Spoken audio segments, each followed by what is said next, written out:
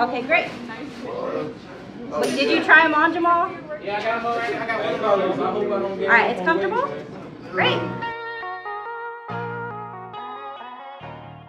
I'm Megan Luis. I work at Workforce Solutions as a talent development specialist with our youth community.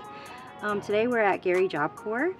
We are working with the NFCAP, which is National Flooring Contractors Apprenticeship Program, um, to get six Gary kids trained in flooring technician and these are um, a bunch of tools and safety equipment that they need to be successful not only in the training but to get a job afterwards or even potentially start their own businesses. So we have work boots, we have knee pads, gloves, goggles, you know, all the standard safety equipment, but then we also have drills and we have um, meter saws, moisture measures, um, basically anything you would need to be su successful as a flooring technician honestly, I, we were looking at the tools when we were packing them up and we were like, we could start our own business if we wanted to here at the workforce.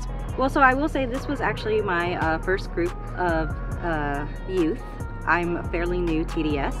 And when I came on, you know, I was really excited to do outreach and be able to help my community. And seeing this kind of made me realize like, it, it, it's true. We really are helping. You know we are providing a valuable service. We're able to do it you know not only quickly but you know with coordinating uh, with NFCAP we were able to get exactly what was needed. Um, so it was great being able to talk and, and work with everyone to provide what the community actually wanted and not just what we think they need. You know knowing that these kids are set up for success. You know, not only are they getting the training they need, they're getting certified, um, and they have the tools, you know, just it's awesome you know seeing someone from my own community be able to move on and, and do so much and you know basically get a good job for themselves